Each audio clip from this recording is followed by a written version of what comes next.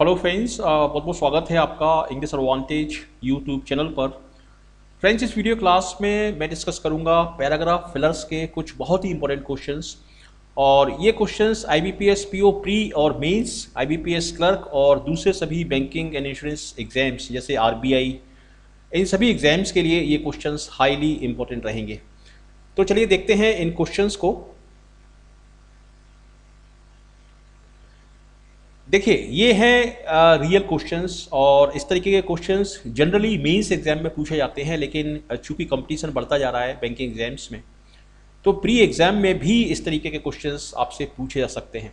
देखिए, इन क्वेश्चंस को क्या कहते हैं? इन क्वेश्चंस को आप बोल सकते हैं पैराग्राफ फिलर्स या पैराग्राफ कंप्लीशन पैराग्राफ फिलर्स कहना सही होगा क्योंकि नॉर्मली ये बीच में दिया रहता है ब्लैंक और यहाँ पर इस पैराग्राफ में ये जो ब्लैंक दिया है, यहाँ पर कौन सा सेंटेंस सही होगा।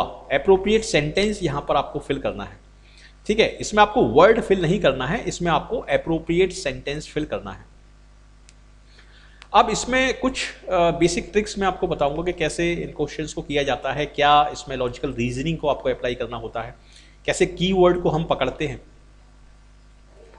अब देखिए, कभी भी जब आप पढ़ें इस तरह के सेंटेंसेस को तो ये चिंता बिल्कुल नहीं करें कि सारे वर्ड मीनिंग्स आपको आते हैं या नहीं आते। आपको एक जनरल अंडरस्टैंडिंग होनी चाहिए। देखिए यहाँ से हम पढ़ते हैं by obfuscating issues and putting out evasive responses that the team hadn't been selected owing to operational reasons, BCCI officials have demonstrated a shocking degree of insensitivity.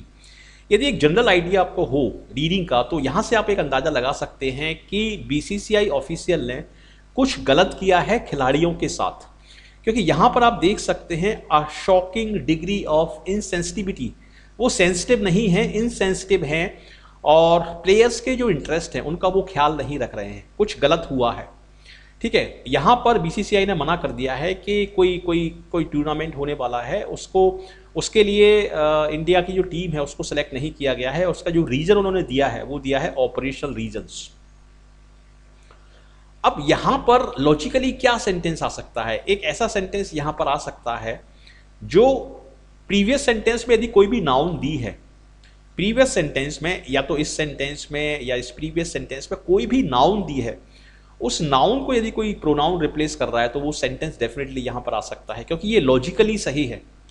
और एक ऐसा सेंटेंस भी यहाँ पर आ सकता है, जो जो इस जिसका ये एक्सटेंशन बने जैसे यहाँ पर आप देखिए Virat Kohli's men should compete in the tournament यहाँ पर एक सजेशन दिया जा रहा है कि विराट कोहली के जो जो एसोसिएट्स हैं, जो प्लेयर्स हैं, उसकी टीम में जो खिलाड़ी हैं, उसको, उनको टूर्नामेंट में पार्टिसिपेट करना चाहिए। मतलब कुछ गलत हुआ है उनके साथ। अब हम यहाँ पर ऑप्शंस देखते हैं। इट्स ए पुअर स्पोर्ट्समैनशिप देखिए स्पोर्ट्समैनशिप बीसीसीआई क्यों दिखाएगा? ठीक है तो ये कहना थोड़ा सा गलत होगा। यहाँ पर हम देखते हैं immediately thereafter BCCI officials floated the story that India would not participate in the eighth edition of the Champions Trophy in England. ठीक है, ये भी काफ़ी अच्छा है, काफ़ी क्लोज है ये। Seen in that context it is a travesty that the travesty मतलब ये एक मज़ाक है। ठीक है, यहाँ पर हम और देखते, देखिए डी सेंटेंस ध्यान से देखिए।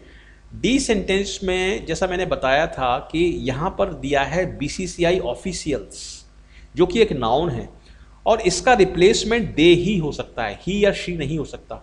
तो दे भी यहाँ पर दिया है, और एक तो ये रेफरेंस पॉइंट मिल गया यहाँ पर। इसके अलावा हम इस सेंटेंस को थोड़ा सा पढ़ लेते हैं तो उससे हमें पता पड़ जाएगा कि कॉन्टेक्स्ट के अकॉर्डिंग ये सही है या नहीं। They have let down the cricketers they have let down the cricketers मतलब क्रिकेटर्स को उन्होंने निराश किया है। तो ये बिल्कुल सही अप्रोप्रिएट फिट है यहाँ पर। They have let down the cricketers who are busy with the Indian Premier League but also have an eye on the Champions Trophy तो चैम्पियंस ट्रॉफी की ही इसमें बात हो रही है। As it as it kick start their international season besides giving them an opportunity to defend their title ठीक है तो यहाँ पर एक्चुअली इसमें डी ऑप्शन जो है ये अप्रोप्रिएट फिट है। क्यों है? क्योंकि एक तो यहाँ पर दे आ रहा है, जो कि बीसीसीआई ऑफिशियल्स जो कि एक नाउन है, उसका एक सूटेबल सूटेबल रिप्लेसमेंट है। इसके अलावा कॉन्टेक्स्ट इस सेंटेंस का जो कॉन्टेक्स्ट है, वो बिल्कुल सही है। इसमें ये बोला जा रहा है कि बीसीसीआई ऑफिशियल्स ने क्रिकेटर्स को लेट डाउन किया है, उनको निराश किया है, उनको डिसअपॉइंट किया है, जो इंडियन प्रीमियर लीग की तैयारी कर रहे हैं चैंपियंस ट्रॉफी के लिए अपने आप को तैयार कर रहे हैं, उनको सेलेक्ट नहीं किया गया है। तो यहाँ पर डी आपका इसमें अप्रोप्रिएट फिट आपका होगा ठीक है? तो लॉजिक को किस तरीके से स्टेब्लिश करना है? लॉजिकल रीजनिंग को किस तरीके से अप्लाई करना है? कीवर्ड को किस तरीके से पकड़ना है? रेफरेंस पॉइंट को किस तरीके से देखना है? ये सारा मैं आपको बताता हूँ इंग्लिश एडवांटेज यूट्यूब चैनल पर। और यहाँ पर मैं आपको एसएससी के लिए बैंकिंग के लिए इंश्योरेंस के लिए इंग्लिश सेक्शन पढ़ाता हूँ। तो इस वीडियो इन इस चैनल को आप ज़रूर देखें और सारे वीडियो क्लासेस आप ज़रूर देखें। अब देखिए यहाँ से आ, देखते हैं। इसमें क्या बात हो रही है? प्रीवियस सेंटेंस थोड़ा सा देखना पड़ेगा। Cut to the 1990s nineties the media ecology changed drastically with the advent of the world wide web the generation and the distribution of news and opinion was no longer a linear process but network देखिए, फिर से मैं same logic से same logic को establish करके बताऊँगा। देखिए, यहाँ पर क्या आ सकता है? यहाँ पर एक्चुअली इस प्रीवियस सेंटेंस में कोई भी नाउन हो ठीक है? और उसका उसका उसका प्रोनाउन फॉर्म अगर दिया है किसी भी ऑप्शन में तो वो डेफिनेटली यहाँ पर आ सकता है। यदि प्रोनाउन नहीं दिया तो इसका कोई भी रेफरेंस वहाँ पर होना चाहिए। मतलब यहाँ पर जो आएगा, वो इस प्रीवियस सेंटेंस को एक्सटेंड करेगा। इसको और ज़्यादा एलेबोरेट करेगा। देखिए, यहाँ पर हम 1990 की बात कर रहे हैं, जब एडवेंट का मतलब होता है आगमन होना। जब वर्ल्ड वाइड वेब आया था, जब इंटरनेट आया था, और इंटरनेट की वजह से न्यूज़ का जो डिस्ट्रीब्यूशन था, वो लाइनियर प्रोसेस ना हो के नेटवर्क प्रोसेस हो गया। लाइनियर प्रोसेस का मतलब है कि ए से बी को गया बी से सी को गया सी से डी को गया। लेकिन नेटवर्क में सारे लोग उस इंफॉर्मेशन को एक्सेस कर सकते हैं। ठीक है? अब इसका एक्सटेंशन कहाँ पर हो सकता है, ये हम देखते हैं। देखिए, यहाँ पर यहाँ पर वर्ल्ड वाइड वेब की बात की गई है। वर्ल्ड वाइड वेब मतलब एक नाउन और इस नाउन को रिप्लेस किया जा रहा है यहाँ पर इस वर्ड के द्वारा this this was a medium internet एक मीडियम है तो यहाँ पर भी एक रेफरेंस मिल रहा है। That was democratic accessible to all देखिए, ये है रेफरेंस पॉइंट नेटवर्क का। नेटवर्क का मतलब है कि it is accessible to all ठीक है? एंड मल्टीपल कन्वर्जन्स तो ये किसका रिप्लेसमेंट है? ये नेटवर्क जो प्रीवियस सेंटेंस में आया है, उसका ये रिप्लेसमेंट है।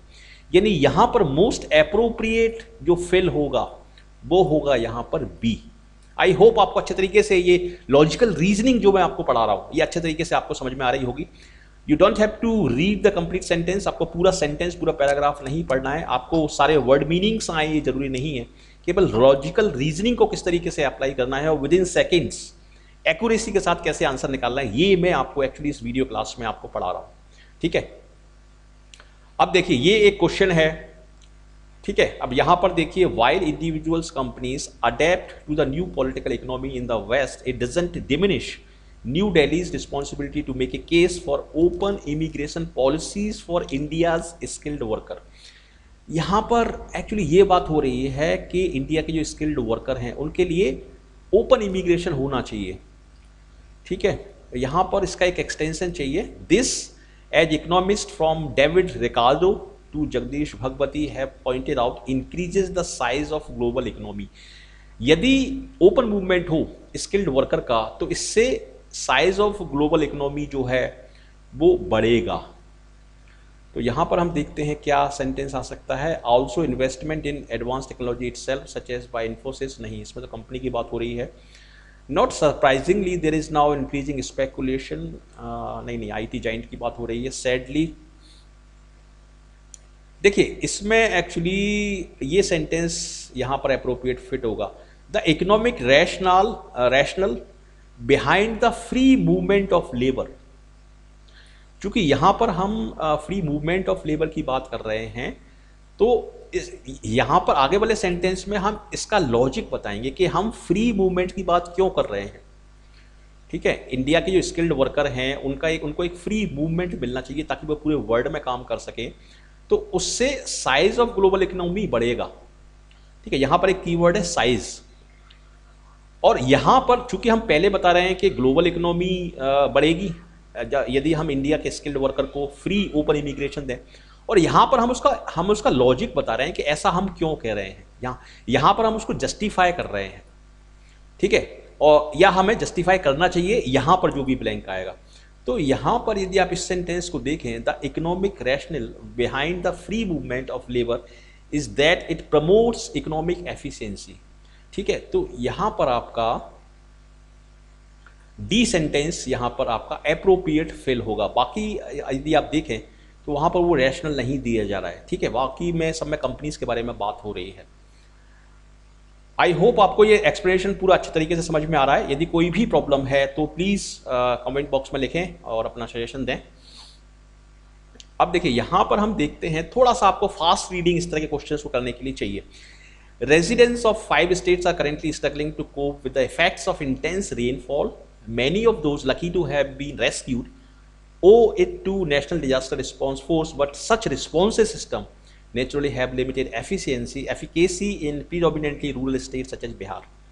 क्या बोल रहे हैं इसमें इसमें ये बोल रहे हैं कि पाँच जो स्टेट्स हैं उनमें बहुत ज़्यादा बारिश हुई है और वो स्ट्रगल कर रहे हैं वहाँ पर उससे वो ओवर नहीं पा रहे हैं देखिए एक वर्ड आया है रेस्क्यू रेस्क्यू का मतलब है कि वहाँ पर इंटेंस रेनफॉल हुआ है क्योंकि जब ज़्यादा बारिश होती है तभी ये वर्ड यूज़ होता है रेस्क्यू किसी को किसी को बचाने की सिचुएशन क्रिएट होती है, जब इंटेंस रेनफॉल होती है। तो इंटेंस रेनफॉल इंटेंस रेनफॉल से ये वर्ड जो है रेस्क्यू ये जुड़ा हुआ है, ये कनेक्टेड है लॉजिकली ठीक है तो जो लोगों को बचाया गया, काफ़ी सारे लोग डूब गए, परेशान हो गए, बेघर हो गए, लेकिन जो लोगों को बचाया गया है, वो इसका श्रेय किसको देते हैं? ओ का मतलब है श्रेय देना। इसका श्रेय वो देते हैं नेशनल डिजास्टर रिस्पॉन्स फोर्स को। नेशनल डिजास्टर रिस्पॉन्स फोर्स ये एक ऑर्गेनाइजेशन है। और आपकी जानकारी के लिए मैं बता दूँ, या आपको पता भी हो कि ये जो टीम है, इनके पूरे हेड जो हैं, वो केबीसी में इन्होंने पार्टिसिपेट किया था। ठीक है? ये केबीसी में आए थे ये लोग। National disaster response force but such responses system naturally have limited efficacy in predominantly rural areas such as Bihar ये जो रिस्पॉन्स टीम है, इनकी जो एफिकेसी है, जो इफेक्टिवनेस है, वो लिमिटेड रहती है पर्टिकुलरली जो रूरल स्टेट्स हैं सच एज बिहार जहाँ पर गाँव ज़्यादा हैं। अब हम आगे देखते हैं capacity building to handle catastrophic weather events is poor तो यहाँ पर हम ये बता रहे हैं कि ये जो रिस्पॉन्स फोर्स हैं इनकी एफिकेसी लिमिटेड क्यों होती है? तो यहाँ पर हम क्या बताएँगे? इस सेंटेंस में हम ये बताएँगे, यहाँ पर हम इसको एक्सटेंड करेंगे। यहाँ पर कोई ना कोई रीज़न देंगे कि इनकी एफिकेसी जो है वो लिमिटेड क्यों है। ठीक है? In Bihar case the shifting pattern and breaches of the Kosi have added to the complexity of the problem, which requires a deeper understanding of the area most at risk. यहाँ पर actually हमें ये बताना चाहिए कि efficacy जो है in response team की, ये लिमिटेड क्यों है? तो इसमें उतना अप्रोप्रिएट नहीं है। एंड यहाँ पर भी नहीं बता रहा है। यहाँ पर देखिए सी में देखिए। What stands out in the annual cycle of floods is the generally tardy pace of preparation for rescue and relief. देखिए, यहाँ पर हम ये बोल रहे हैं कि जो प्रिपरेशन करते हैं, हर साल बारिश होती है एनुअल साइकिल ऑफ़ फ्लड्स की बात हो रही है तो उसमें टार्डी पेस ऑफ़ प्रिपरेशन होता है। प्रिपरेशन जो हम करते हैं बहुत डिलेड रहता है। Tardy pace of preparation for rescue and relief ठीक है? तो एक रीज़न ये बताया है और आगे वाले जो रीजन्स हैं, वो इसमें आगे बताए हैं। इसका मतलब यहाँ पर प्रीवियस यहाँ यहाँ पर सी जो सेंटेंस है, ये अप्रोप्रिएटली यहाँ पर फिट हो रहा है। क्योंकि उसमें हम लिमिटेड एफिकेसी का एक रीजन बता रहे हैं, फिर आगे वाले रीजन हम आगे के सेंटेंस में बता रहे हैं। ठीक है? तो इसलिए यहाँ पर आपका सी मोस्ट अप्रोप्रिएट फिट यहाँ पर आपका होगा। तो ऐसे इनको करना है आपको।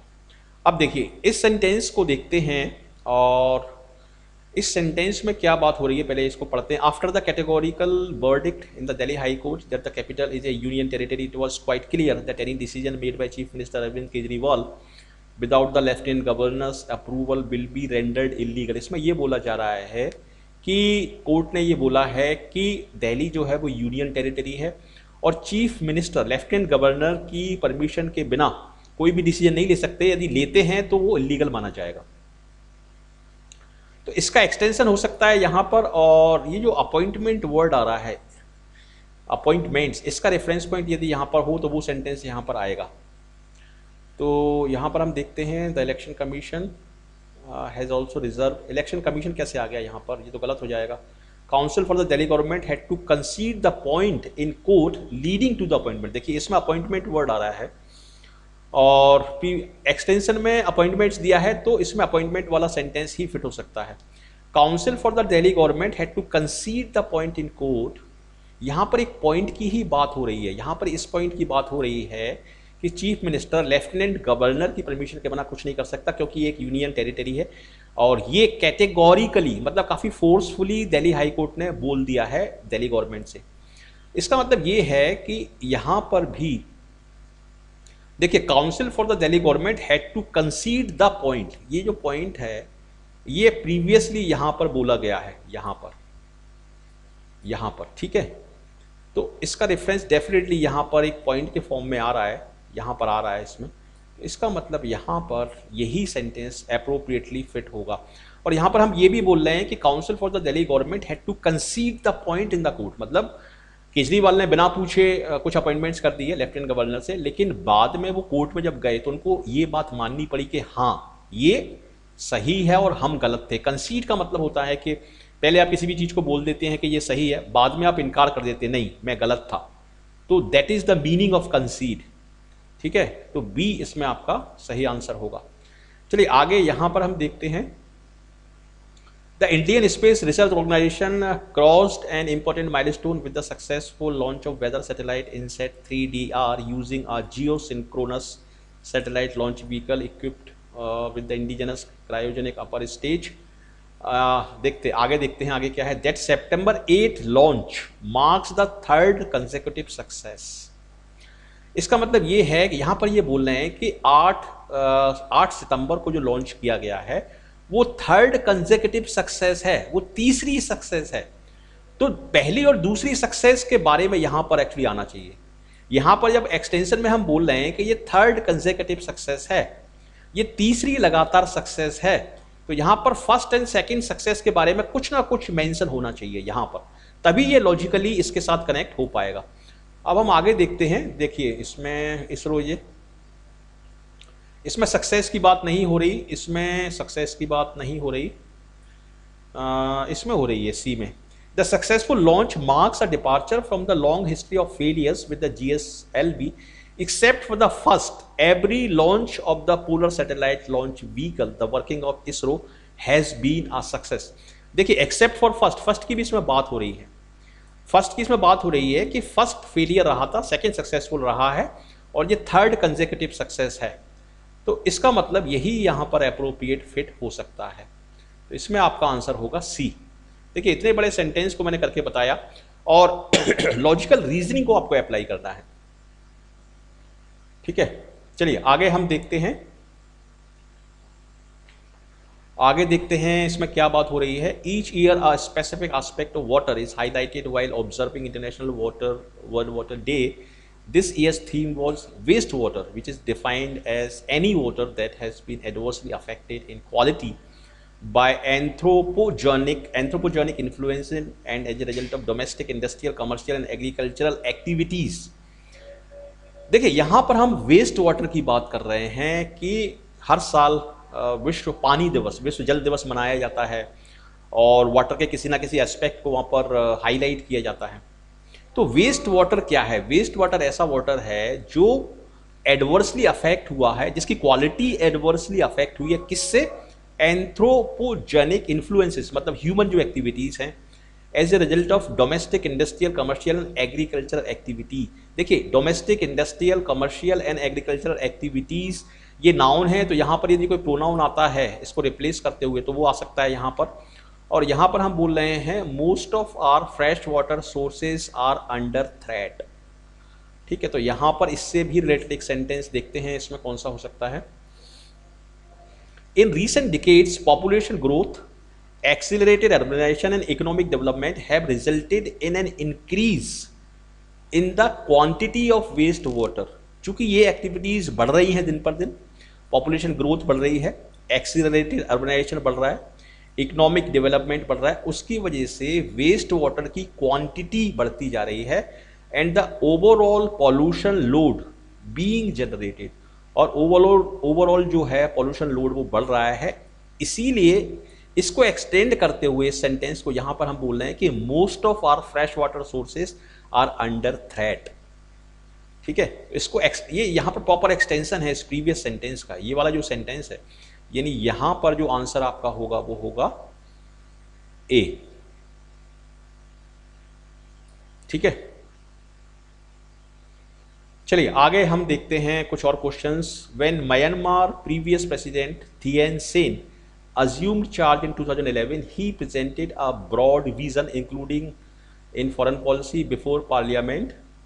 On all substantial matter, the nation and the international community look to miss you की देखिए, यहाँ पर हम प्रीवियस प्रेसिडेंट थियन सेन की बात कर रहे हैं और यहाँ पर हम ये बोल रहे हैं कि नेशनल और इंटरनेशनल कम्युनिटी जो है, वो नया, नए जो प्रेसिडेंट आए हैं या लेडी प्रेसिडेंट हैं, ये मिस सू की इसकी तरफ़ देख रही हैं कि ये म्यांमार के गोल्स और प्लान्स को सही तरीके से इम्प्लीमेंट करेंगे।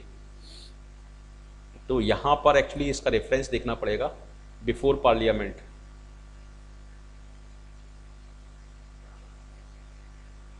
देखिए, यहाँ पर प्रीवियस सेंटेंस में हमने ब्रॉड भी बोला है तो यहाँ पर हम बोल सकते हैं, देखिए, यहाँ पर चूँकि सू, की रेफरेंस आया है तो सू की से रिलेटेड ही एक सेंटेंस आना चाहिए। देखिए इन कॉन्ट्रास्ट नहीं ये वाला आना चाहिए ये नहीं होगा इन कॉन्ट्रास्ट मिस सू की विज़िट टू थाईलैंड ड्रू नहीं नहीं नहीं ये नहीं आएगा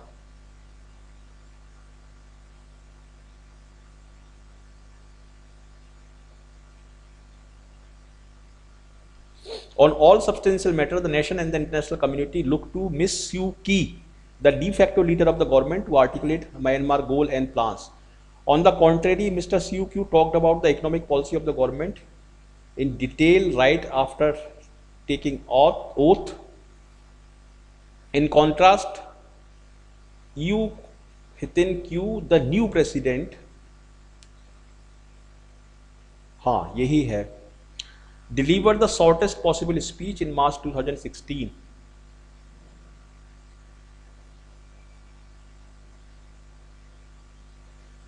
यहाँ पर यही होना चाहिए बी इसको देखते हैं पढ़ के। देखिए, यहाँ पर हम प्रीवियस प्रेसिडेंट की बात कर रहे हैं, ठीक है? तो यहाँ पर एक्चुअली नए प्रेसिडेंट के बारे में बात होनी चाहिए। यहाँ पर जब हम प्रीवियस प्रेसिडेंट के बारे में बात कर रहे हैं तो यहाँ पर नए प्रेसिडेंट की बात होनी चाहिए, और इसमें न्यू प्रेसिडेंट की बात हो रही है तो एक तो ये लॉजिक है। दूसरा दूसरा, चूँकि कॉन्ट्रास्ट यहाँ पर क्रिएट किया जा रहा है तो यहाँ पर देखिए, यहाँ पर सॉरी यहाँ पर क्या बोल रहे हैं हम? यहाँ पर बोल रहे हैं ब्रॉड विजन और यहाँ पर हम बोल रहे हैं शॉर्टेस्ट पॉसिबल स्पीच तो ये भी एक लॉजिक है। ये भी, यहाँ से भी एक कॉन्ट्रास्ट क्रिएट हो रहा है, लेकिन ये नाम सेम नहीं है यहाँ पर। मिस यू की और ये शायद कुछ ना कुछ यहाँ पर मिस प्रिंट है। मेरे हिसाब से लॉजिकली यहाँ पर यही सेंटेंस फिट है। In contrast Miss Suu visit to Thailand due much attention on all substantial matter the nation and the international community look to Miss Suu the de facto leader of the government to articulate Myanmar goal and plans ठीक है? तो इस sentence मेरे हिसाब से B होना चाहिए। आप इस सेंटेंस को पढ़ना आराम से और मुझे बताना, कोई आपको इसमें प्रॉब्लम लग रही हो तो। चलिए, अब हम आगे देखते हैं। यहाँ पर हम देखते हैं।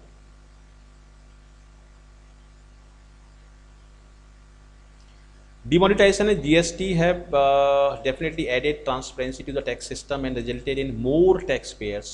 यहाँ पर हम ये बोल रहे हैं कि डिमोनिटाइजेशन और जीएसटी ने डेफिनेटली ट्रांसपेरेंसी एक टैक्स सिस्टम में जुड़ी है और डेफिनेटली इससे टैक्स पेयर की संख्या भी बढ़ी है।